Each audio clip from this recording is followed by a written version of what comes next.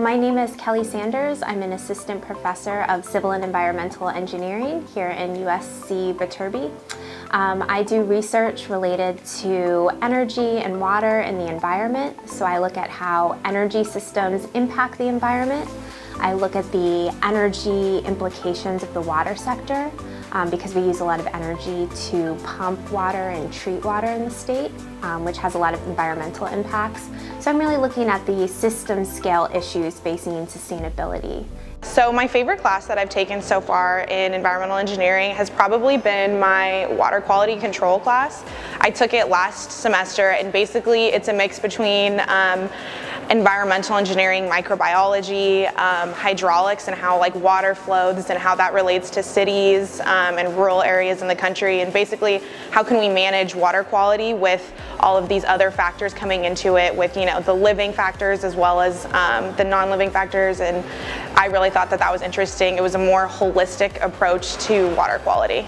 The summer after my freshman year, I worked with Matt Construction as a project engineer intern. So that was a lot of project management. It was more on the civil engineering side um, of environmental engineering. On campus, I'm part of the American Society of Civil Engineers, and within that, I'm part of the concrete canoe team, where we get to design and mix concrete for a floating canoe.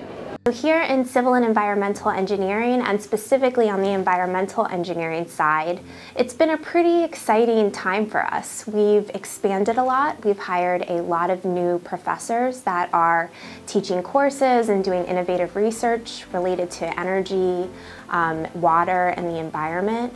Um, so coming into the program, you'll take my course, which is kind of a um, system level look at the field of environmental engineering. So we talk about issues facing energy and water and climate change. And as you move through the program, you'll learn about water treatment, um, wastewater treatment, um, waste management, and all of these different systems that contribute to the sustainability um, of the world. I chose civil engineering because one day I hope to design affordable housing for the homeless and the low income. I really like math and I'm really interested in the environment so how can I merge those two interests together and then that's how I came upon environmental engineering.